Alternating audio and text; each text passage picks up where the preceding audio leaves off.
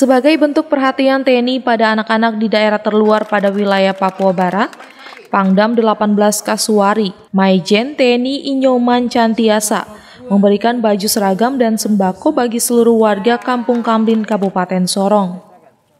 Pada sela-sela kunjungannya dalam kegiatan TNI Manunggal membangun desa di Kampung Kamlin, Pangdam Kasuari mengajak anak-anak untuk tekun dalam belajar agar kelak dapat menggapai cita-cita yang diimpikan. Karena membangun bangsa ini ada tiga ya, hal yang perlu dan harus kita pikirkan. Pertama adalah membangun sumber daya manusia. Ya, makanya tadi saya tanya, itu ada berapa anak, -anak muda tadi, ya, badannya bagus-bagus, ya. Ada yang lanjut sekolah, ada yang putus. Ya. Makanya tadi yang putus-putus sekolah kalau bisa mungkin sambung lagi, ya. Selain peduli akan pendidikan anak-anak asli Papua, Pangdam Kasuari juga mengecek secara langsung pembangunan rumah warga oleh TNI yang progresnya sudah mencapai 70 persen.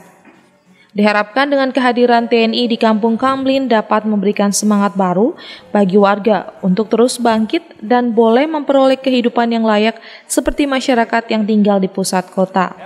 Flora Batlayeri, Kompas TV, Sorong, Papua Barat.